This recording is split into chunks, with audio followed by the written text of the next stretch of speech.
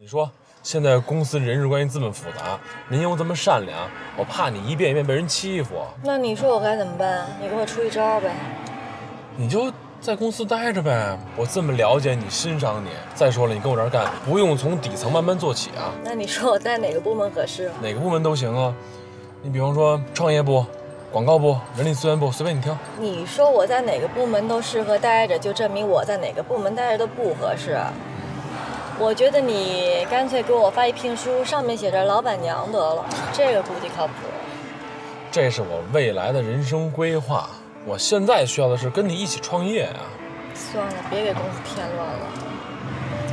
要不你再好好想想，这刚三天，你怎么就下这么大结论呢？三天我都不行了，受不了了。跟我说谁欺负你了，我批评他，行了吧？说人什么呀？说人对老板娘不公啊？这就是我的能力问题，你就是太强势了。人家估计是想巴结你，才会对我这样的。人家那不是因为跟你不熟吗？也没准人家喜欢你呢，是不是？不信的话，你你你们在一起共同的打次仗，合作一次，人肯定就不不不把你当外人了呀。行了，别安慰我了啊！咱俩也没必要天天跟一块绑着，这也没怎么着呢，是吧？那你还真想去证明一下自己的人生价值？那也行。你要想证明自己价值，要干脆您回那密云那公司去，行了吧？你以为那公司是我开的呀？想来就来，想走就走。咱可以找人啊，托关系啊，无非就是你跟家慢慢等呗。你这人怎么那么坏呀？你就知道我不会回去，你就这么说？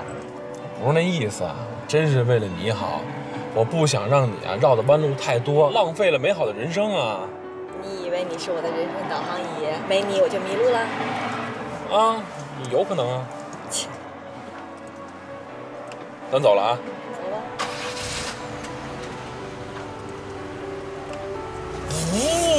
向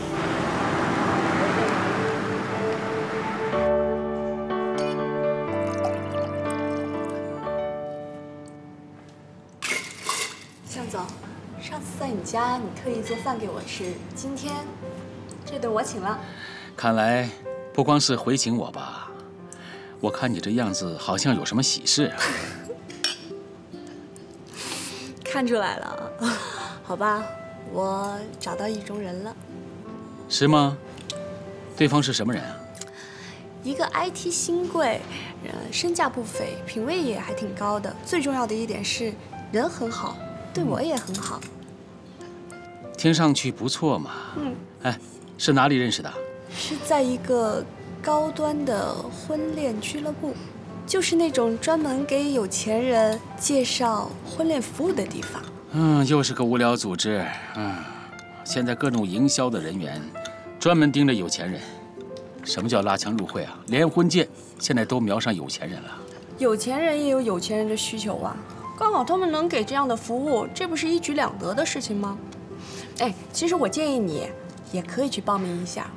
那里面美女如云，一定有你喜欢那款。算了，我自己喜欢自己碰。你这样的性格，就算碰到了，你自己可能都意识不到。不会吧？那好，你说，你碰上什么样的人，你才会认定他就是你要找的呢？说不出来吧？其实找另外一半，就像旅游看风景一样。你老觉得最美的风景就在前面，实际上，眼前的风景才是最美的。风景美不美，每一个人的眼光都不一样。其实我原来跟你一样，老想自己碰，可我一直碰到的都是钉子。我现在就不愿意再去碰了，我只想踏踏实实的找一份安全感。其实并不要什么刻骨铭心的爱情，只要有一定的经济基础就可以了。说实在的，我有时候真是看不懂你。我，怎么了？你一副很现实的样子，可是我感觉你实际上很渴望爱，那不是很矛盾吗？其实好多姑娘都是这样想的，只是我比较直率罢了。哦，对了，刚才你说的那个人，我并不看好。一个那么高调去俱乐部征婚的人。会是一个稳重踏实的人吗？换句话说，一个样样好的男人，他还需要找组织征婚？我不信。其实，不是所有有钱人的社交圈都跟你一样广，他们也渴望爱情，渴望婚姻，可是现实生活中碰不到那么心仪的女生，这不奇怪啊。哎呀，别想了，我这一次运气应该不会这么差。来，祝福我吧。祝福你是一定的。哎，为了你的幸福，我还可以为你做一次私家侦探，帮你探探那个人的虚实。有钱人的圈子就这么大，如果他真的是有钱，一定跑不出这个圈子。好了，现在不说这个了。我今天约你就是想高兴高兴，来，干杯！好啊。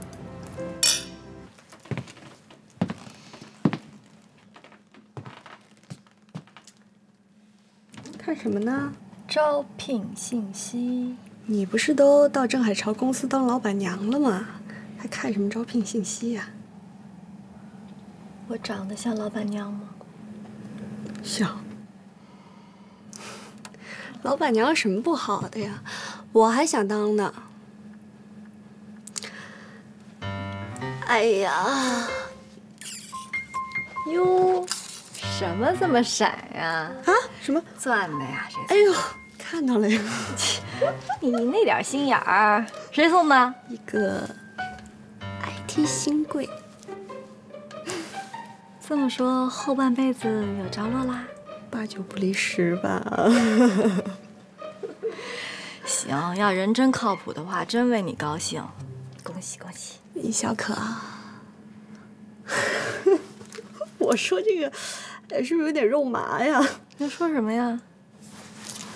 这个在你们家住这么长时间，给你们全家人都添了很多麻烦。谢谢这是跟我玩煽情呢？干嘛呢？把我们家房租给交了吧？行，那个 IT 新贵交，利息也给你补上。行。然后可能过两天我就要搬走了，哎呀，挺舍不得你们的。常回家看看，回家看看，哪怕帮小可吹吹后背，揉揉肩。什么呀？人家那么煽情，快把房租给还上。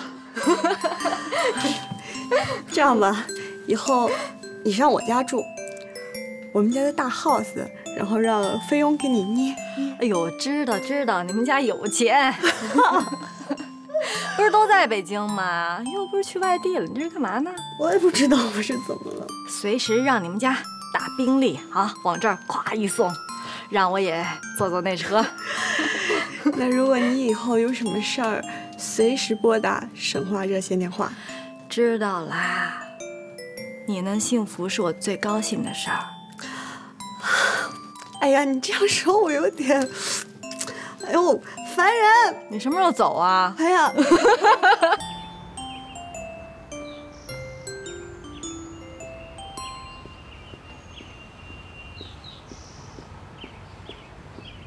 我说你怎么躲这儿啊？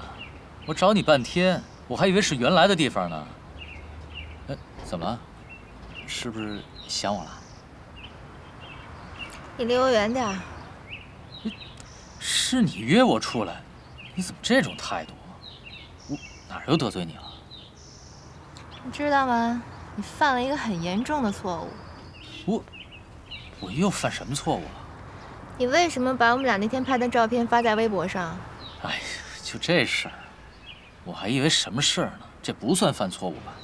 你想，这微博只是抒发自己情绪的一个平台。你再想那天我们俩穿着情侣装之后，咔咔照张照片，那我心里特别高兴，我就把它发到微博上了。再说了，我只是想留个纪念，也是我们感情的一个见证啊。难道你觉得这个不好吗？怎么好了？你经过我同意了吗？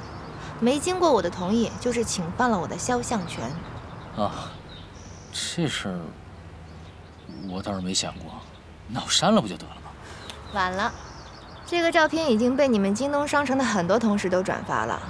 现在啊，我成了给那套情侣装做广告了。哎呦，我说呢，那套衣服为什么最后卖的这么好？原来是我的微博起了作用。哎，珊珊，你说我们俩做广告明星，会不会很好啊？你别贫了，行不行啊？远点，远点，远点。我告诉你啊，这次错误很严重，所以你的报告呢，推迟一年再批。哎呦，我我冤呐！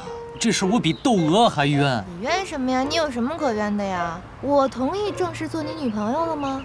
啊，我没同意吧？哦，你就把照片发在微博上面，这算怎么回事啊？那算我错了。喝水。你就看在我以前立了这么多功的情况下，原谅我一次呗。啊？嗯。哎。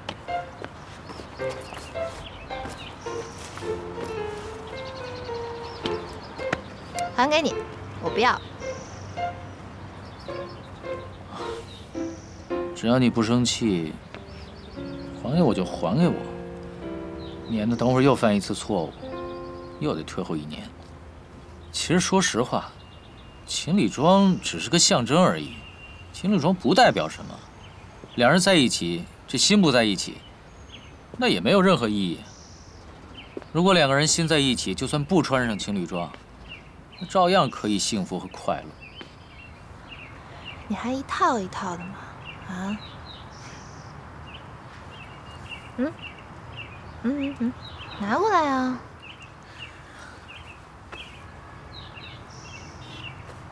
这是给我买的吧？呃，对啊。我要回来呢，是因为我不想浪费。我告诉你啊，从今天起，我穿你就不能穿，你穿我就不能穿，明白吗？那我们什么时候可以一起穿呀？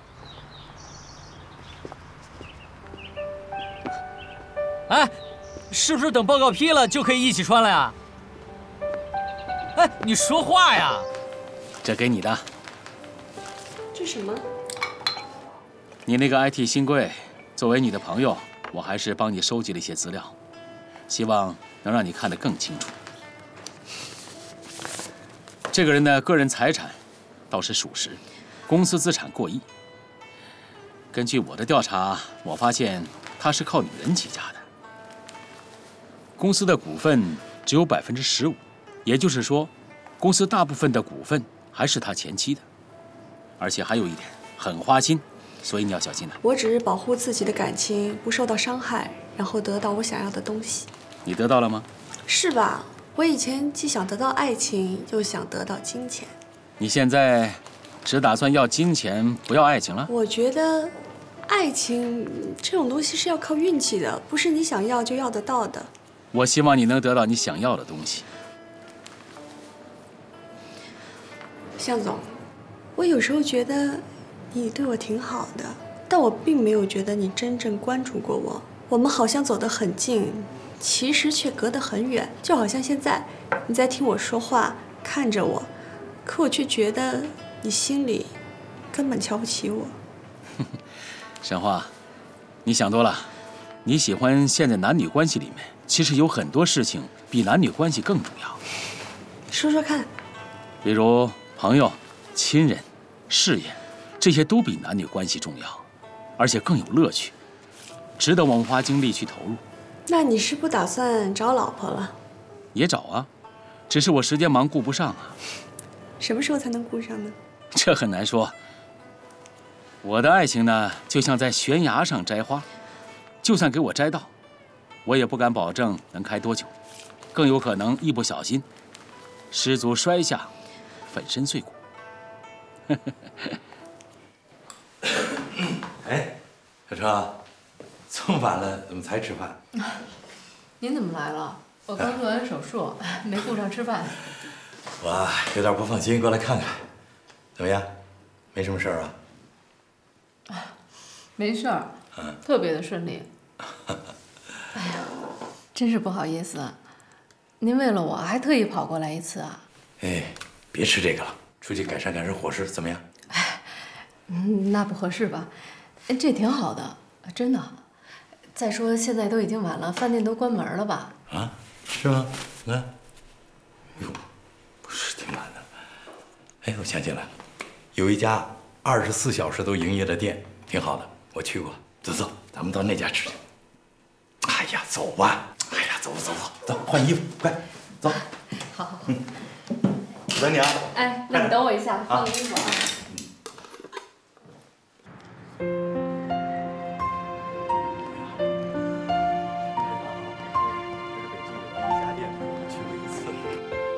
再来一杯。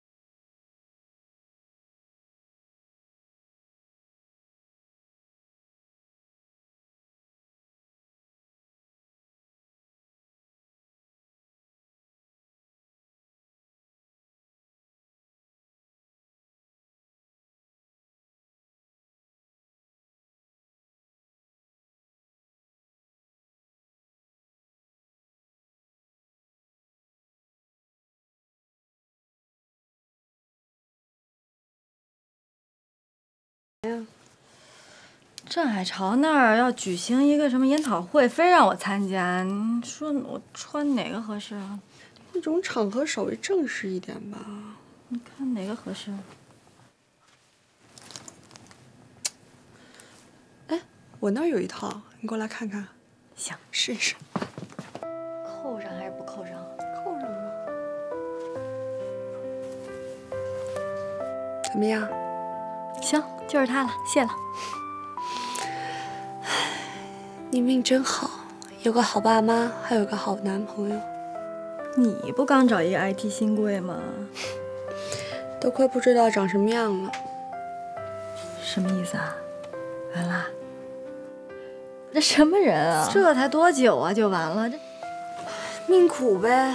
情场失意，商场还失意。商场什么意思啊？我们公司的行政助理辞职回家当全职太太去了，全公司都认为那个位置肯定是我的，因为很多行政部的事都是我去负责的。前几天头找我谈话，递给我一张电影票，想追你呗。我看到他那张嘴脸我就讨厌，还看电影呢，我才不去呢。这不就对了吗？不去对什么呀？后悔死我了！就因为没看那场电影，然后第二天他就宣布另有人选了。这种就不能去。他这回约你看电影，下次指不定让你干嘛呢。你老顺着他呀。关键是那个小姑娘哪儿都不如我，就陪领导去看了一场电影，凭什么呀？我觉得这个你就得把心态摆正了。你想，这种便宜就让人占呗，咱还跟他玩不起呢，是吧？心态放正也是要有条件的。要是我爹妈能养，男朋友也找到像郑海潮这么好的，那我有什么可愁的呀？我是哪儿都没有，好吗？这个父母有，男朋友有，那是人家的。有一句话怎么说来着？人家有不如自己有，自己有才是真的有。所以必须得通过自己努力。好吧，那你早点回去休息吧，明天还有重要的事儿。哎呀，要不然你明天。陪我去吧，他们公司的人我都不认识，还有他那些朋友什么的，我这一个人去太尴尬了。我去干嘛呀？不是你，你看你不是不想干这份工作了吗？他们那儿有好多企业的老板，万一你是不是遇上合适的工作了？当然主要是陪我了。嗯，那主要是陪你啊。那我睡去了啊。嗯。哎，衣衣服我先穿走了，你穿过去吧。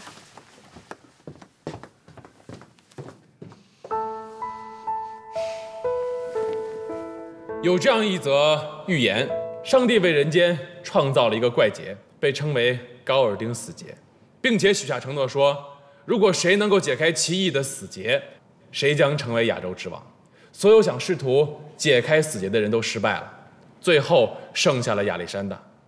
他说：“我还第一次我要创造我自己解法的原则。”他用宝剑一剑将死结劈成了两段，于是他成了亚洲之王。这个预言深入浅出的道出了“创意”两个字的真谛。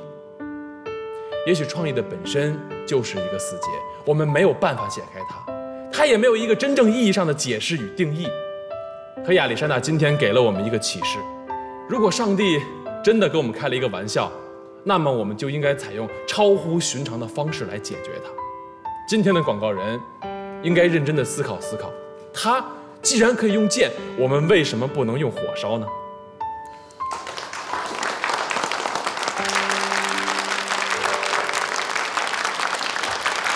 你讲的真是太精彩了，年轻人，你前途无量。郑总，我非常看好你啊！好嘞，哎，再见啊！哎，易总。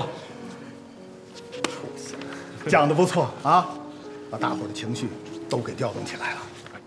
我这属于经验不足，很多东西还停留在表面呢。现在想想，我这一身冷汗呢。你说广告业要像你这样的年轻人再多那么几个，像我们这样的老人家恐怕真的快没饭吃了。您可千万别这么说，走到什么时候，您都是我的老师。我进这行就是您带我来的呀。有件事儿还得你帮忙啊。哦，您说，可以这么说吧，京东商城。这个项目对我来说是最后意义。如果真的在这个项目上我没有拿下来，可以这么说，我退休退的都不踏实。卖我一个老脸，把京东商城这个项目让给我，这样的话呢，我对公司也有一个交代，退休呢，退的也体面一些。啊，这事儿您容我考虑考虑行吗？好。没事，周末跟我一块去爬爬山。现在身体最重要 啊！是是是。哎，易总，正好我给您介绍一下，这是我女朋友邓小可，这是她好朋友沈化，这是四海广告公司的创意总监易总。嗯，你们好。久闻您公司的大名了，易总你好。哟，看来邓小姐对广告界还是比较熟悉啊。她以前在一家汽车公司做项目主管，专门负责产品的对外宣传和广告创意，所以也算是半个广告人吧。我可知道啊，在大企业做广告宣传的这些姑娘们，个个古灵精怪，三言两语就会让我们这乙方缴了械，乖乖听命。不过啊，你要想缴郑海潮的械，可没那么容易，除非你有独门绝技，否则的话，你很难驯服这匹野马呀。易总，您有所不知，真正的野马那不是我。嗯，小可经常会出一些让我想不到的招，让我没办法接他。好，行，你们这些年轻人随便聊，我过去啊陪那几个老东西说说话啊。嗯嗯，你们聊。你胡说八道什么呀？没说什么呀。那我先走了。哎，你干嘛去啊？我都当了一晚上电灯泡了，不打扰你们，你们慢慢聊。我陪你吧，我陪陪他。哎，那我陪谁去？周总，哎，你的演讲非常精彩。好，谢谢谢谢谢谢。那咱们喝一杯吧。哦，好，来啊，走。易总。嗯。哦，哦，对不起啊。好。呃，我考虑好了，您刚才跟我说的事儿呢，那个忙我肯定得帮，但是呢，您也得帮我一个忙。你说。嗯，大概意思是说这样的。怎么了？心情不好啊？来的时候不是好好的吗？没什么，我只是觉得我不应该出现在这种场合。你说什么呢你？我不知道。突然觉得自己就是一个失败者，人生一团糟，处处不如意。跟这个满场的成功人士相比，我在这儿真不合适。要说失败的话，我比你失败多了，我连工作都没有。可你有一个有权威的老爸，还有一个完美的男朋友，对女人来说这就够了。可我什么都没有，只能随着青春流逝，日渐贬值。怎么了你？哈，二位女士，打扰一下。李总。好。哎，邓小姐，我听郑总说，你目前正在找工作。嗯。不知道找没找到合适的呀？嗯，还没有呢。那邓小姐对广告界感兴趣吗？好，那恕我直言了，我们公司呢正缺一个助理，我觉着你很合适。两个星期的实习。你可以到各处去走一走，看看，了解一下情况。如果没什么问题，明天你就可以来上班。谢谢易总。那好，那就这么定了啊！明天我在办公室等你。嗯。哦，对了，这里有地址和电话，咱们明天上午见。明天见。嗯，再见。谢谢易总。四海广告的总监助理，真不错，恭喜。好吧，那我先走了，你好好玩。哎，那我跟你一块走吧。别，你陪陪郑海潮吧，他是你的幸运星。拜拜。哎，怎么样，小哥？易总。哦，你好。他们带你公司上下都参观了吗？参观了。哎，跟人事部的人见了面了吗？啊，都见过了。工资待遇你还满意吗？当然了，谢谢易总。啊，不客气。那好，从现在开始你就算公司的人了。哎，一会儿啊，你和我一块儿参加一个创意部的一个讨论会，好不好？行。啊，走。LED 灯箱的广告呢，对于我们来讲是一个新的产业。刚才呢，有关 LED 灯的介绍已经跟大家讲了。这次任务想必大家都非常清楚。我们这次为京东商城所设计的寿命为八年的 LED 灯的广告，这对我们来讲是一个挑战。我希望从今天开始，在座的各位。回去以后认真的想一想，一个星期之后，每一个人交一个好的创意方案交给我，大家有没有信心呢？有。那好，散会。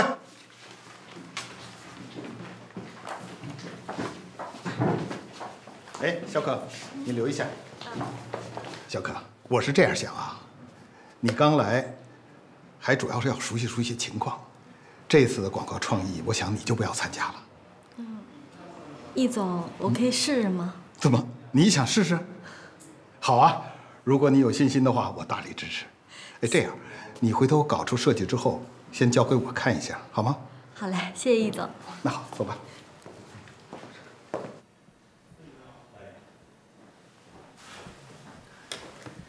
邓主任，嗯，手术怎么样？还行，挺成功的。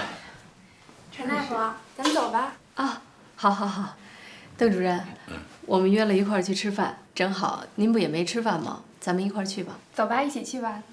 啊，那行，我跟你们一块儿去啊。哎，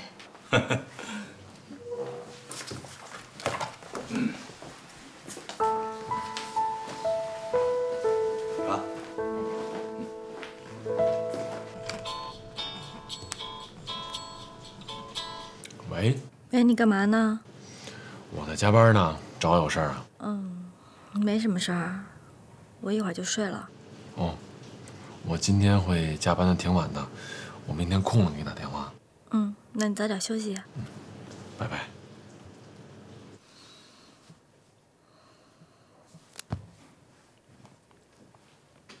我在跟着其他的、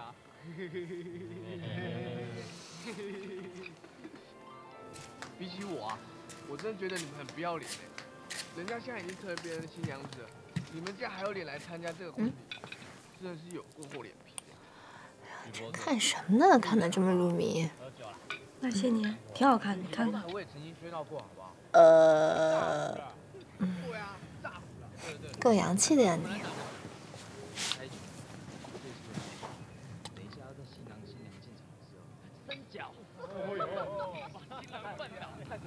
有心事啊？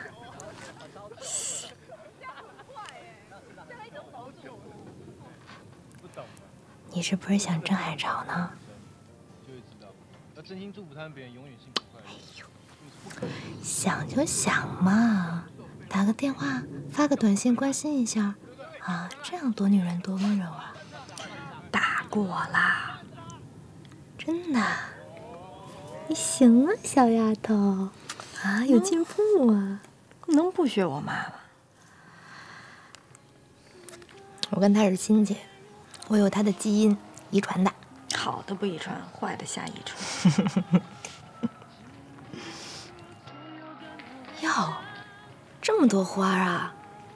哎呦，这多浪费啊！你说这生日啊，还是什么呀？结婚纪念日，这老夫老妻，你看不出来？我这叫浪漫，怎么叫浪费呢？你这人真没情调。怎么不能浪漫？你看，你看，还开红酒，这个时候就应该把咔，红酒不要，蹦叽往那儿放一孩子，就更完美了，多温馨呀！你要是不当编剧，都屈了才了都。哎呦我天哪，我咋忘了呢？最后大结局今天最后一集看，不不给给我不是妈妈，哎，我这是还没看完呢。什么你没看？我今天对对对对电视里不不不，你你快点那个小三儿，我看了那小三儿最后肯定没好下场。妈，你让我看。小姨，你我让崔廷科行吗？崔廷科崔崔崔崔姨夫，哎呀妈，你咋才回来呢？啊？哎，有个手术啊。哎呀，你这这吃饭了没有？手术前吃了点儿。那那我给你弄个汤吧。哎，别别别忙活了，明早上有个大手术，我早点休息啊。看什么呢？看电视。早点姨夫晚安。给我。哎呀妈，你别不是这这戏特别好看，你看，不是我那个大，我那个，你让我看五分钟，五分钟。哎呀妈，我让他看你看进去了，你绝对会喜欢。玫瑰花，这这啥看的？这多浪漫呀！这不是谁谁干啥呢？这是。妈妈啊！别别，真的，您求求你，我看看那小三儿，他现在他 怎么着？最后什么下场？那个，哎呀，我天哪，气死我！我把这场看完啊！气死我了！被人欺啊！嗯，这啥意思？这这就是啊？那跟你有啥关系啊？他他跟你有关？关系真有关系。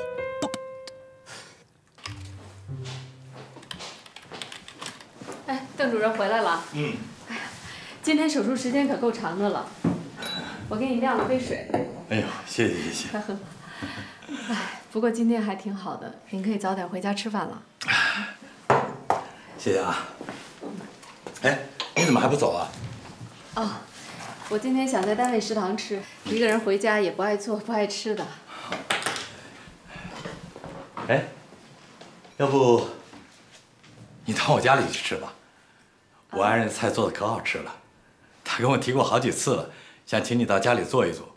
这一忙我我就给忘了。谢谢，我觉得不太合适吧？哎呀，有什么不合适的？走吧走吧，真的不用了，你赶快回家吃饭吧。没事儿，听我的，走吧。那好吧，那我先去收拾一下。哎娟，别太忙活了，差不多就行了你。吃什么没有什么忌口的吧？没有没有，姐你太客气了，别再忙了。哎呀妈呀！你看人家这博士就是会说话，管我叫姐，那说明我年轻呗。但是说实话啊，我们这年龄跟你爸妈应该都差不多少。我是在美国上学的，我们在那儿都是这么彼此称呼的。哦，这不在中国吗？我都行，行行。那个，我我我听那个老邓说，你爸爸跟跟我们家老邓长得一模一样，是吗？哦，是是是，呃，第一次见到邓主任的时候，我自己也吓了一跳，他跟我爸长得啊，简直是太像了，一模一样。哎呦我天，像成那样！啊 哎呦我天，缘分。那可真是缘分，这大千世界里边是吧？那两个人能那么，真是缘分。那个那个小陈儿，我叫小陈儿。那个你你那个一个人在北京是吧？挺不容易的一个女孩子，没事就常来，好不 好？哎，姐啊，对了，我也不知道你喜欢什么，带了一点薄礼啊，你看看喜欢不喜欢？不，你坐那坐那，别别别客气。哎呦，带什么东西呢？你看，真是天，这还是是挺挺，哎，都外国字儿，肯定是好的化妆品啊。那以后不许了啊，不许破费。没事没事，你喜欢就好。那个什么，你们聊着，我我去看看菜好了没有啊？那姐我就帮你 忙吧。你帮不上，帮不上，聊着啊。回去差不多就行了啊。弄点水果吃。好好好。哎呀初次到我们家，欢迎欢迎啊！热烈欢迎啊！谢谢谢谢。那个小陈啊，你哪儿人呢？啊，我祖籍山东的。山东的。哎呀妈呀，就是你这好像我硬套似的，这其实真不是，我我也是山东的。当年那个闯关东，就全家就那就就到东北去了。是吗？哎呀妈，这说起来还老乡呢，真是。哎呀，晨儿，别客气。晨儿，这个这这这女孩子也也不好问哈，但是我还得冒昧的问一句，这你别给我整这个。哎呀妈，你这这什么事儿？这 个那个晨儿啊，这个有点冒昧哈，有有有对象没有啊？啊，没有，还没有呢。嗯。哎呀妈，那可该找了，你岁数也不小了。你太高学历那也没什么用。你说你现在都已经是博士了，你再整就什么博士后了，人家都说这个女人这高学历有时候还反而不好找，是吧？你想想，你都这么高了，那男的得多高啊？他得往上 够着，你够不好，你摔下来了，是不是？真的，干得好都不如嫁得好，就针对这种女孩子说的，所以得找。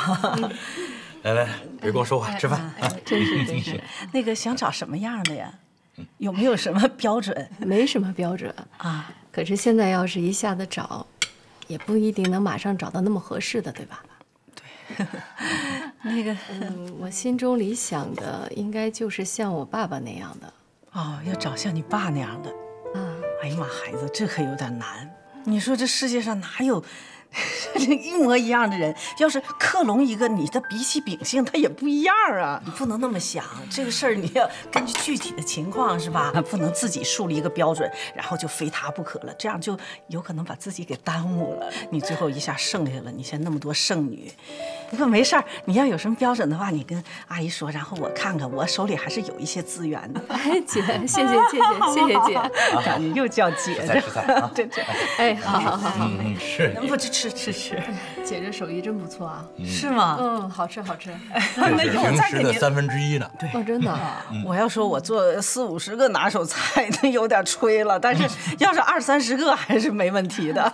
那看来我得常来。常常。嗯，哎，真好吃，常来。来来，再喝一个。来，姐姐，我敬你。来来来，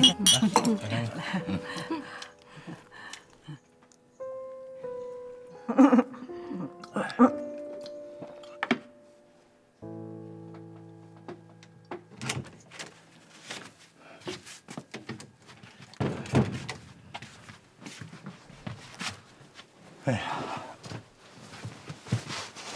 哎呀哎想什么呢？怎么还不睡啊？啊？你说你今天这女同事来怎么觉得我浑身我都说不出来，我就觉得不对。